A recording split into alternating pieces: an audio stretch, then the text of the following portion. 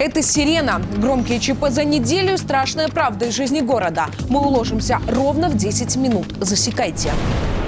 Спас пожарный извещатель. И тем самым спастись и предупредить остальных людей о возникшем пожаре. Как живыми из огня вышли отец и сын. Два ДТП за два дня. Как начались школьные каникулы. Почти тысячи литров в районе задержали машину с нелегальным алкоголем. Мы начинаем. Старт каникул и сразу ЧП. Вечером 1 ноября в Бобруйске МАЗ сбил школьника. Мальчик переходил дорогу по пешеходному переходу, но на красный сигнал светофора. В результате ДТП ребенку причинены телесные повреждения, с которыми он госпитализирован. По факту ДТП приводится проверка. За рулем МАЗа был 57-летний бобруйчанин. По факту ДТП проводится проверка. Спустя сутки, но уже на Батова под колеса Фольксвагена попала 28-летняя жительница, которая переходила проезжую часть по линии линии тротуара. Представитель немецкого автоконцерна в этот момент поворачивал на дворовую территорию. Однако водитель сразу покинул место ДТП, но был оперативно задержан сотрудниками ГАИ. Прав управления машины у него не было. Ранее он был их лишен за нетрезвую езду. Женщину уже с травмами госпитализировали. К слову, по 10 ноября госавтоинспекция проводит мероприятия, направленные на выявление авто без техосмотра.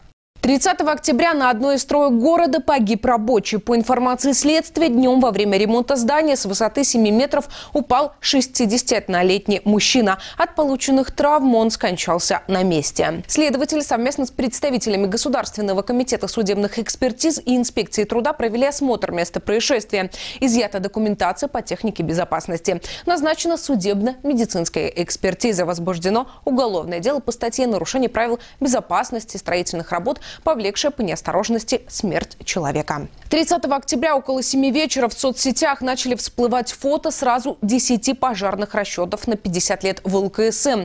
Люди недоумевали, что случилось, что горит. Оказалось, огонь застал врасплох жителей блока на девятом этаже общежития. Мужчина 88 -го года рождения находился дома с трехлетним сыном. В этот момент люди спали. Пожар возник в одной из комнат общежития.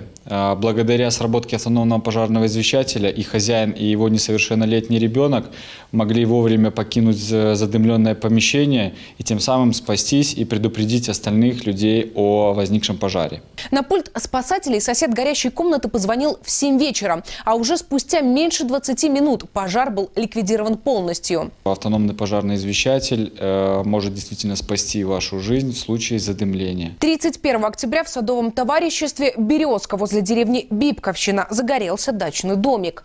По прибытии к месту ЧП происходило открытое горение здания. Со слов соседей, хозяин постоянно проживает в Бобруйске. Характеризуется положительно, на учете не состоит. В результате данного пожара дачный домик сгорел полностью.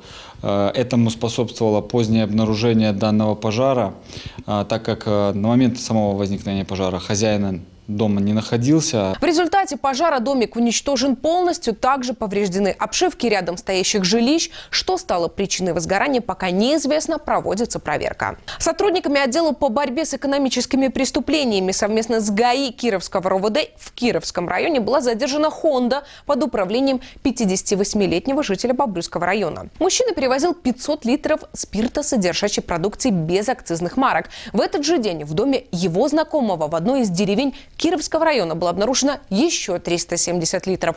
В результате спиртосодержащая жидкость расфасована в 174 канистры, изъята и направлена на экспертизу. По факту проводится проверка. Это была «Сирена», но больше новостей ищите на нашем канале в YouTube и соцсетях. Я Кристина Ариянц. Увидимся через неделю.